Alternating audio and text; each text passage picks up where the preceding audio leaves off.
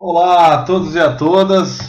É sempre um prazer enorme estar aqui e voltar a dar aulas, a lecionar para vocês, que é o principal, a principal função do meu trabalho, a divulgar então as aulas do Enem. Então gostaria de passar para vocês. Nós estamos é, realizando então a resolução da prova do Enem. Então fiquem ligados, que ainda tem muita coisa para rolar. Tá certo, galera? Bom, o bonezinho aqui. O que eu queria dizer para vocês é que a resolução ela também incute interaula. Você tem aula em cada resolução. Esse é o diferencial que a gente faz. A gente gera a resolução, tem uma aula junto. Beleza? Então até já nas próximas aulas. Vamos fazer agora essas aulas de uma maneira bem interessante. A gente vai ver vários assuntos diferenciados para você, acima de tudo, arrebentar no Enem. Na FUVEST também. Tudo isso se interliga. Quem está prestando Enem também deve dar uma olhada nas questões da FUVEST, que sempre se aprende com o estudo, mas principalmente as questões do Enem. E quem está fazendo FUVEST fazendo FUVEST, normalmente presta o Enem, então vale a pena também dar uma estudada e conferir. Beleza? Vamos que vamos, até já! Próximas. Vamos fazendo as aulas, vamos lá. Bom, pessoal, vamos falar agora que quem fala é Rodrigo Berrart, professor de Ciência da Natureza e Suas Tecnologias, Matemática, Humanas e Linguagem. Eu também dou aula de tudo, sou especializado em Enem principalmente ciência, tecnologia e matemática. Junto com ciências humanas que eu adoro também, sou apaixonado. Bom, ciências da natureza e suas tecnologias, questão número 1. Um. A atmosfera terrestre é composta pelos gases nitrogênio N2, oxigênio O2, que somam cerca de 99%, e por gases traços, entre eles o gás, o gás carbônico, o CO2, e vapor de água H2O. H, chuchu, H, chuchu, H2O. O que você deve lembrar? Que o metano é o CH4, o ozônio é o O3 e o óxido nitroso é o N2O, que compõe o restante de 1% do que respiramos, do ar que respiramos. Os gases traços, por serem constituídos por pelo menos três átomos conseguem absorver o calor irradiado pela Terra, eles acumulam calor, aquecendo o planeta. Esse fenômeno, que acontece há bilhões de anos, é chamado de efeito estufa. Então não é só a atividade humana que vai fazer o aquecimento global. Também natureza, natureza, a interação do Sol com a Terra também cria o efeito estufa, ok? e gases, os gases apresentados com três átomos, como a gente já havia falado. Tá claro, pessoal? Então não é o aquecimento global já aconteceu várias vezes na Terra. Então não é novidade. Vocês têm que levar em consideração que nesse momento nós, a sociedade humana, é, queimamos combustíveis fósseis, principalmente, e outros combustíveis que liberam CO2. E usamos o carbono como como fonte primária, principalmente de transporte. É ou não é? Transporte, aviões, caminhões, carros, etc., motos, navios, tudo isso, trens, ah, combustível, todos eles vão gastar então uma grande quantidade de combustível fóssil que vai liberar basicamente CO2 e outros elementos que foram mostrados aí. Bom, continuando a análise, o que você deve pensar é que esse fenômeno ocorre, aconteceu há bilhões de anos e acontece. A partir da Revolução Industrial, que ocorreu lá na Inglaterra, né, pessoal? E em todos, quase em todos os países que têm indústria hoje, no século XIX, a concentração de gases traços na atmosfera, particular o CO2, tem aumentado significativamente, o que resultou no aumento da temperatura em escala global Mais recentemente, outro fator tornou-se diretamente envolvido no aumento da concentração de CO2 na atmosfera: o desmatamento. Então, o desmatamento é um grande problema. Outro vilão. O Brasil está nessa. O Brasil é o país que mais desmata, junto com a Indonésia, México, Canadá, Rússia, China e a África também. Tem países que desmatam muito, mas o Brasil é campeão mundial. É, considerando então o texto, uma alternativa viável para combater o efeito estufa. Então, para a gente combater o efeito estufa, segundo o texto, agora o que você tem que prestar atenção é o texto. Considerando o texto, uma alternativa viável para combater o efeito estufa, dentre esses é, problemas apresentados, vamos ver o que, que poderia ser viável. A. Reduzir o calor irradiado pela Terra. Posso ir lá e apagar o Sol? Pego um controle remoto e apago o Sol ou tampo o Sol? Não dá, né? Então, reduzir o calor irradiado pela Terra mediante a substituição da produção primária pela produção refrigerada. Esquece, não tem como você refrigerar a Terra, né, gente? Possível. Como que você vai refrigerar a Terra, gente? Pelo amor de Deus, você vai é, pôr um ar condicionado na Terra? Não dá. Próxima questão. Então, B. Promover a queima de biomassa vegetal responsável pelo aumento do efeito estufa devido à produção de CH4. Se você promover a queima de biomassa, aí o mundo vai totalmente poluído, você vai poluir o mundo inteiro, vai acabar com a biomassa da Terra. Não tem lógica. Essa questão é só você pensar em lógica, tá? Não tem lógica essa questão. Você vai queimar toda a biomassa? Tá bom. Bom, C. Reduzir o desmatamento, mantendo-se assim o potencial da vegetação em absorver CO2 na atmosfera. O que a gente não pode esquecer, nas aulas que eu já dei sobre fotossíntese, que as plantas realizam o quê? Fotossíntese. Elas recebem a luz do sol e fabricam matéria orgânica. E também liberam para a atmosfera o oxigênio.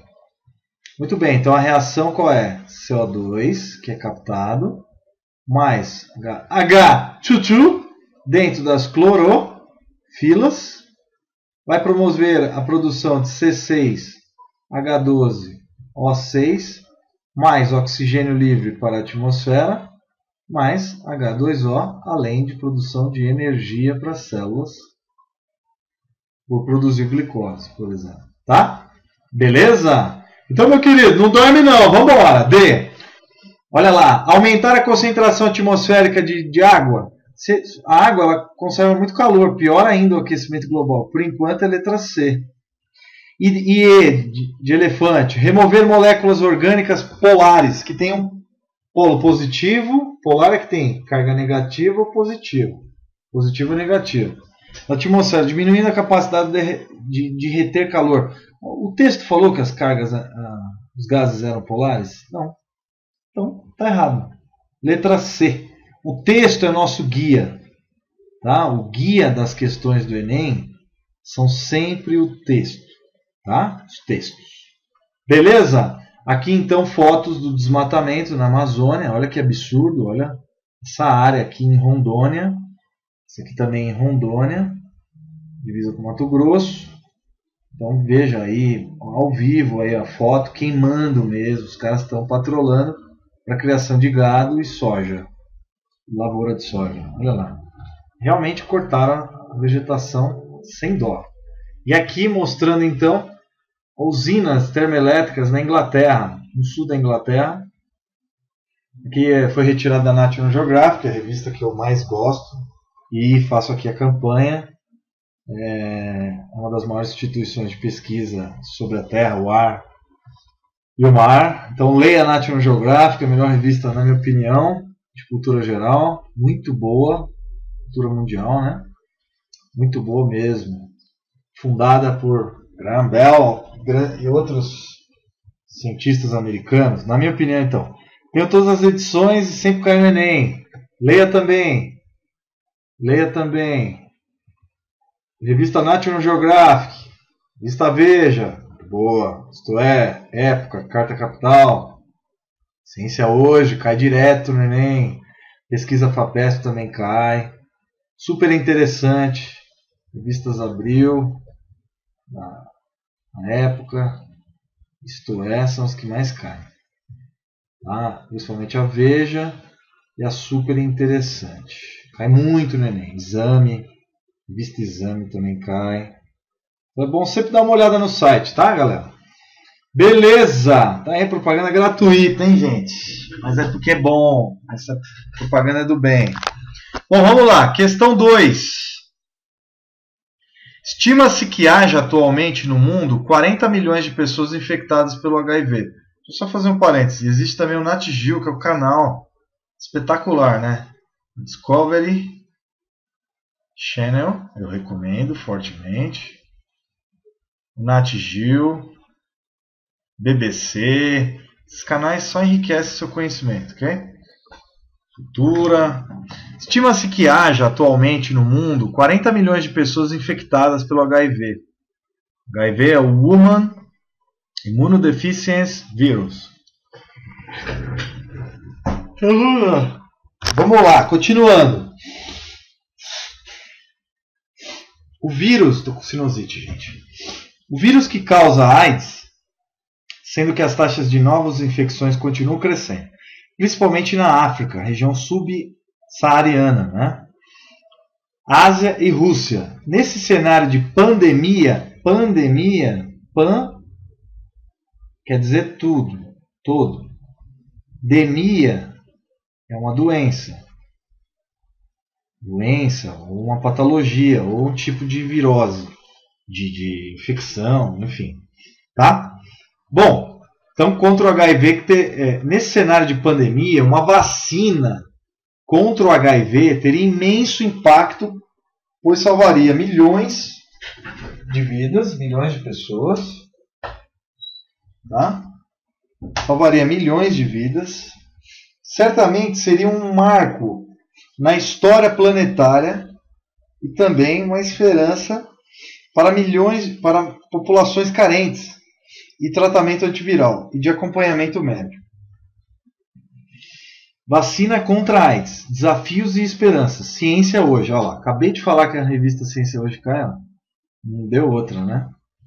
Uma vacina eficiente contra o HIV deveria, primeiro, queridos, vacina são substâncias do próprio vírus da bactéria que vão aumentar o que? quantidade de anticorpos. A lógica primária das vacinas é essa. Então a gente atenua a entrada de substâncias como o vírus da gripe, por exemplo, a gente esquenta ele no laboratório, degrada essas proteínas do vírus e, e cria então uma imunidade própria. Para o HIV isso é muito difícil, porque ele muda totalmente, muito rápido, ele muda muito rápido, muitas partes. Aqui o HIV atacando um linfócito, veja só. Aqui ele atacando um outro linfócito também.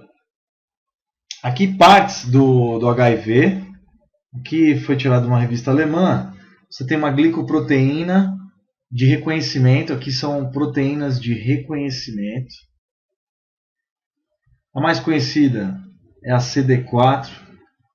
São os, os linfócitos CD4 que serão atacados pelo HIV. Então, o HIV reconhece, através desses alfinetinhos de proteína, os linfócitos do tipo CD4, que são nosso, nossa tropa de elite que vai defender o corpo. Então, o que acontece? Diminui as defesas do corpo. Então, o HIV não mata a pessoa, mas ele diminui as defesas e a pessoa morre por causa disso. Que há a entrada de outros, de, outras de outros seres vivos, bactérias, vírus, e outras enfermidades, pneumonia, é, vírus, tá? Bom, o ciclo do HIV. Então você tem a entrada do vírus na membrana celular, aí ele libera o RNA, tem RNA viral, tá? Então vai ser liberado esse vírus. O vírus vai ter uma enzima chamada transcriptase reversa, transcriptase reversa, que vai transformar, isso aqui é muito importante, RNA em DNA viral para atacar quem? O DNA humano e, vamos dizer assim, escravizar a célula. Não gosto dessa palavra escravizar, mas é, modificar essa célula para fazer somente vírus. Então é isso que acontece. Então ele cria o DNA que vai ser inserido no genoma da pessoa e vai criar novos RNAs virais e novas, novos HIVs, tá? Beleza?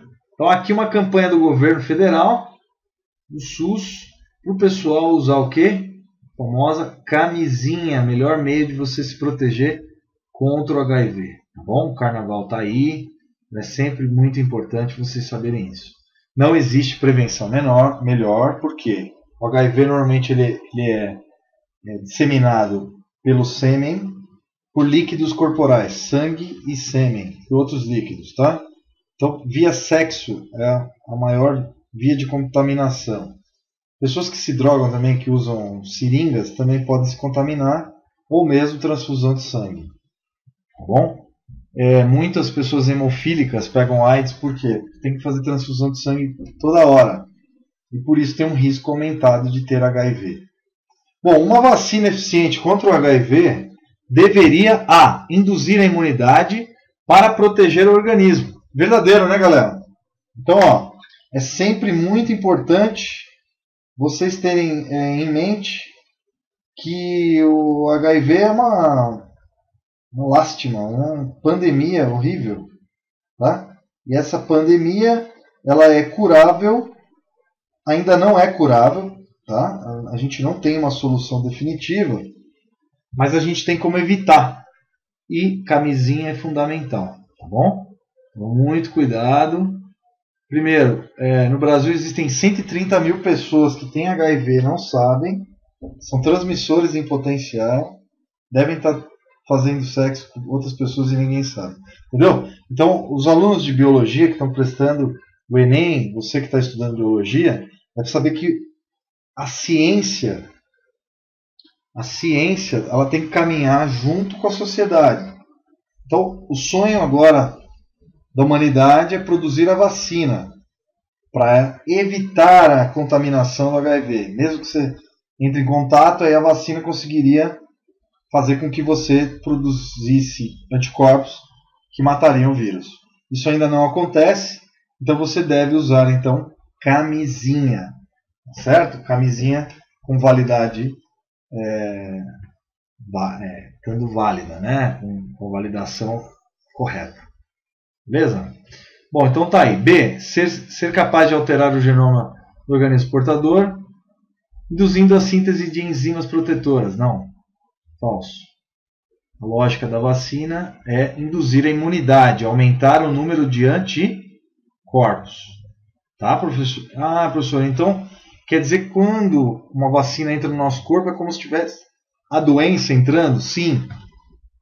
Como se tivesse o causador da doença, só que ele é atenuado pelo calor, estragado, vamos dizer assim. Ele é, é vamos dizer, no jargão correto científico, ele é atenuado, quer dizer que ele é de alguma maneira alterado, tá? C. Produzir antígenos capazes de se ligarem aos vírus, impedindo que este entre nas células do, do, do organismo humano. Bom, aí está dizendo antígeno. Antígeno pode ser uma proteína nossa. Isso não acontece, não vai entrar dentro do vírus. Tá? É, são receptores. E não é essa a lógica da vacina. Isso é uma outra reconhecimento, tá?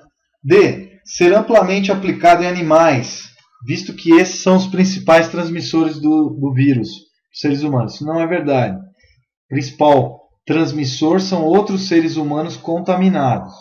Errado também. E estimular a imunidade minimizando a transmissão do vírus. Não, a transmissão você não minimiza. Você tem que usar o quê? Camisinha, só camisinha mesmo, para você diminuir a probabilidade de ter AIDS. Beleza? Beleza. Continuando então, questão correta, letra B de bola, B de Brasil. Vamos continuar então. Mais uma questão importante. Então, ó, analise a figura. Você está vendo uma figura que tem a concentração de álcool no sangue por miligrama porcentagem. Tá? E aqui no eixo X, tempo em horas. Então aqui é sempre o eixo X aqui é sempre o eixo Y. Sempre. Todo número em X tem um coligado em Y. Para ter o gráfico, você tem então a união dos pontos, beleza? Supondo que seja necessário dar um título para essa figura, a alternativa que melhor traduziria o processo representado seria: veja, que a concentração de álcool no sangue seria a quantidade de álcool no sangue. E em relação a quantidade de miligramas por porcentagem. Aqui o tempo. O que a gente pode inferir, hein, turma? Se ele está levantando essa ideia de tem o álcool, o álcool tem um pico aqui, depois com o tempo ele vai caindo. O que será que acontece para ele ir chegando a zero, hein? Quem que vai atuar para ele sumir? O fígado. Bom, isso é um conhecimento extra da questão. Mas vamos, vamos ver agora, supondo que seja necessário dar um título, que título que você daria? A. Concentração média de álcool no sangue ao longo do dia. O dia vai de 0 a 24 horas, é ou não é? Aqui está indo só até 8 horas. Então não pode ser A. B. Variação da frequência da ingestão de álcool ao longo das horas. Então, variação da frequência da ingestão de álcool ao longo das horas. Variação de, de frequência. Aqui está falando de frequência? Não. Está falando de miligrama por porcentagem. Então B está errada seguindo o texto. C. Concentração mínima de álcool no sangue a partir de diferentes dosagens. Falou concentração mínima? Não. Então está errado. D estimativa de tempo necessário para metabolizar diferentes quantidades de álcool. Olha, tá aí, hein? Você vê, tem uma quantidade inicial, depois uma quantidade máxima, depois zero. Pode ser sim. Então vamos levantar a hipótese que tem toda a chance de ser. E representação gráfica da distribuição de frequência tem, tá mostrando frequência aí, galera? Não tá, não tem frequência aí. Não existe isso no gráfico. E também não fala na, da, de metabolização. Mas você pode inferir que por miligrama, quantidade total em porcentagem, e depois zero, quer dizer, quanto mais álcool a pessoa tomar, maior é o tempo decorrido. É isso que está demonstrando o gráfico. Então é o tempo de metabolização, sim. Letra D, de Dinamarca. Tá bom? Disposição para arrebentar no Enem. Então, essa questão envolve uma interpretação do aluno. Lembre-se sempre que álcool ele é metabolizado pelo fígado. Coitado do fígado, né, galera? Ele sofre nos feriados, Natal, festas. Ai, haja, haja fígado para aguentar, né?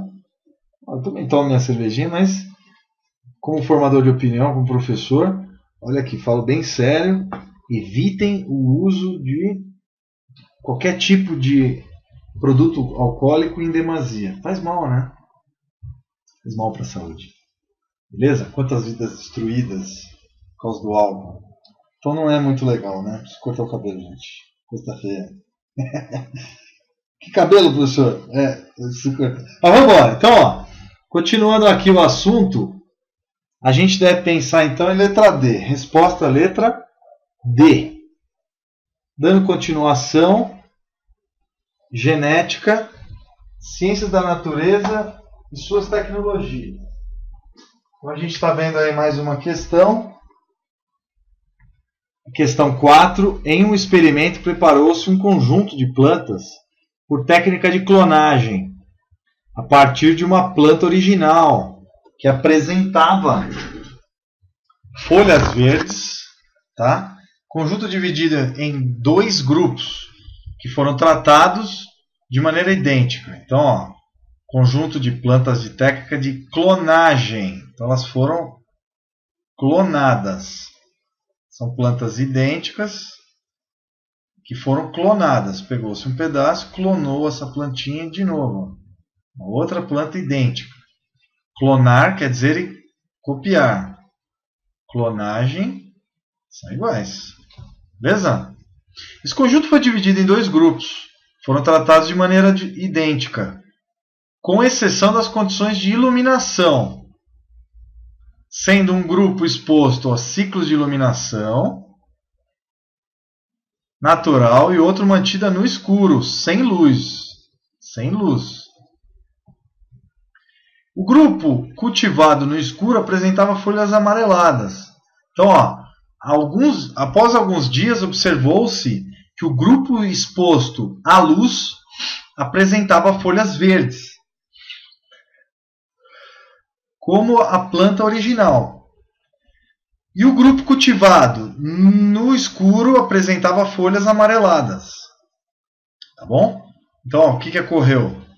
Que com sol, com iluminação, a folha ficou verde.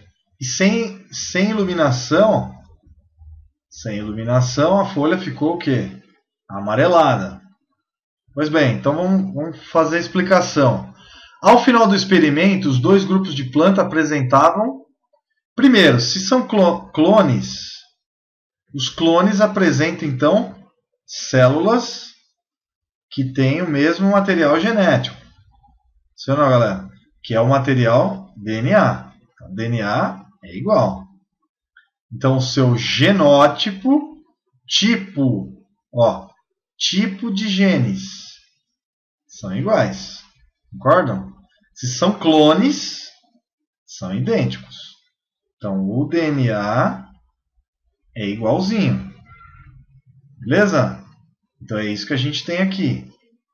Seu DNA é igual. Então, você tem o mesmo, mesmo DNA, que a gente chama de genótipo, conjunto dos genes. Então, os genótipos são aquelas letras, azão, azinho, azão, azão, azinho, azinho, como exemplo, né? as letras, que significam o quê? Os genes. Seriam os genes. Até hoje se fala lelos, mas não diz muito para os alunos. A gente deve falar genes. Muito bem, meus queridos. E o fenótipo. Fenótipo. Feno quer dizer o quê? Visão, ver. Então, o tipo de visão que você tem das proteínas desse ser vivo. Então, um é verde, e a outra folha é o que? Amarela.